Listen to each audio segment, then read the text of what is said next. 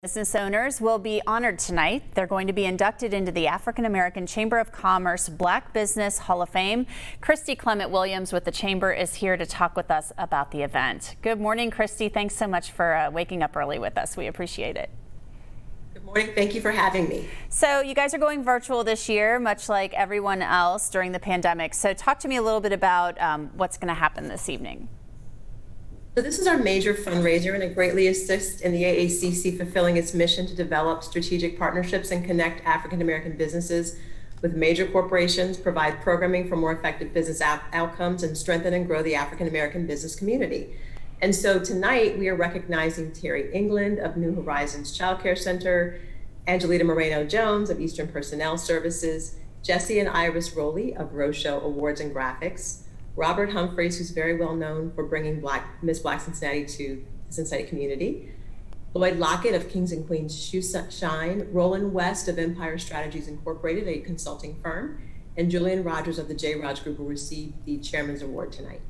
So if you want to attend the event virtually on Facebook Live and uh, you haven't gotten your tickets yet, is there still time to, to sign up and get a ticket so you can take part? There is still time left. We do have a few dinners left. There's going to be a special shoebox dinner, and that's part of the purchase package.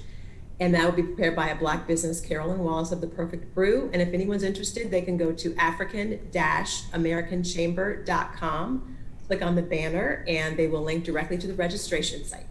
And how do you choose the honorees? I know that um, you know your information says they're trailblazers, they're they are leaders in the community. How did you select this year's nominees specifically?